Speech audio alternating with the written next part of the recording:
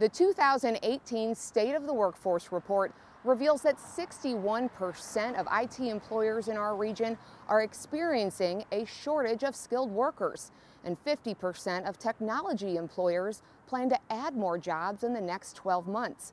This next story explores an area of IT where their workforce needs grow every day. We as a society like our technological conveniences. We have our Alexas and Roombas and Rings.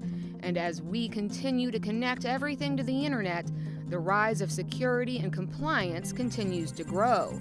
And unfortunately, we currently have a shortage of cybersecurity professionals to help keep those hackers at bay. There's predicted to be a shortage of talent by one and a half million people by the year 2021 in cybersecurity specific roles. It's nationwide, um, so locally for St. Louis right now, there are about 5,000 open roles that are unfilled today. Tony Bryan is the executive director of the Midwest Cyber Center, a local nonprofit located in T-Rex, a technology startup incubator downtown. Our mission is to close the cybersecurity skills gap by inspiring the workforce of tomorrow and educating the workforce of today. Tony makes it sound so easy, and in some ways it may be. There are people looking for training and certification in cybersecurity, and they can provide that. In person, three days a week, 72 hours of coursework that is provided um, with a real time instructor, um, soft skill prep, using the cybersecurity framework for the National Institute of Standards and Technology, students develop their workforce readiness skills in this field. That's exactly what Derek Hall did.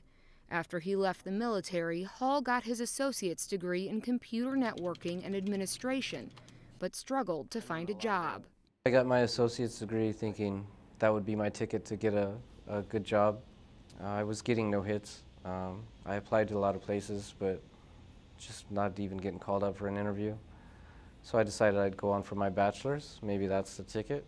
When I'm going to school, I'm talking to all these people who are seniors who have never even been able to get an internship.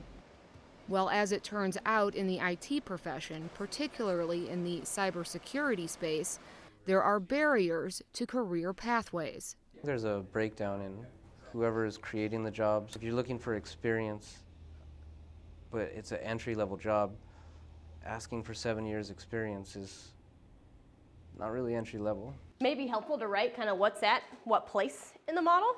The trend that I've noticed when I've talked to industry folks, right, uh, and, and, primarily around you know those that are doing the job so from day to day, they're looking for people that have skills, um, some of that intangible aptitude, desire, reliability, inquisitive, you know, lots of great skills that come along with it that you can't learn in a textbook, you just inherently know.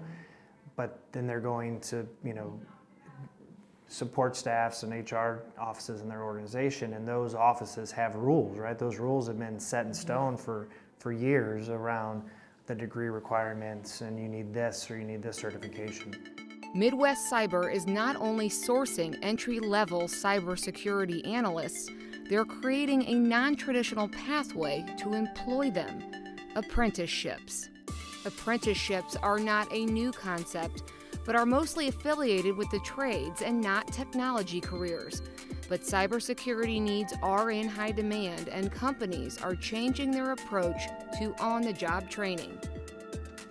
Raphael Constantine is the Chief Information Security Officer at Barry-Wehmiller, a worldwide company headquartered in Clayton whose primary business manufactures equipment that manufactures products. Over the past 35 or so years, we've acquired over 100 companies, about 110 companies. What does a company like this need cybersecurity for? How does that work on an everyday basis? That, that's a great question. So for, for our customer trust, which is very important to us, we want to make sure that our customers know that when they do business with Barry-Wehmiller, their information they provide us in the course of normal business is going to be well protected. There is definitely some intellectual property. There's financial information that we want to protect. There are a lot of personal bits of information that we that we collect and, and must keep for our uh, associates, for our team members. Right. So even HR information. That's what I'm talking. Would be exactly, everybody. Exactly. Naturally, Barry-Wehmiller takes cybersecurity very seriously, and Constantine's cybersecurity team is growing with the help of Midwest Cyber Center. And it was the best thing. Because what I'm, me as a, as a hiring authority, a person in need of, of some cyber skills, uh, the Midwest Cyber Center provides me someone who's been vetted, vetted uh, with um, some level of professional skills, professional behavior, and, uh, and, and eagerness, that, that passion I spoke with, uh, that, that, that's, that's already been kind of, of, of vetted for me at, as the hiring mm-hmm. authority. So working with Tony, I had a couple resumes to choose from. I interviewed some folks. So last August, Derek landed an apprenticeship at Barry-Wehmiller, where his on-the-job training combined with 580 hours of online coursework will land him a permanent position there within a year. It was phenomenal. He was exactly the type of person I was looking for. It's been really amazing. It's not what I expected. I was expecting kind of like an internship type, but um, they have given me actual responsibility when I when I bring something up to take it seriously. Um, I've never, I could have never imagined it would be something like this.